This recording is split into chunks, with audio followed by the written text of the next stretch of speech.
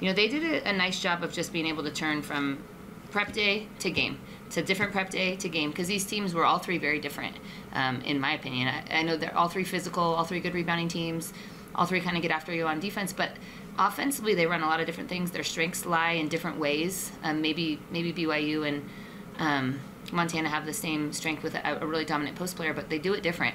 Uh, so I, I, just thought that they they were the, the physical tough, but they were also mentally tough and prepared to not let up.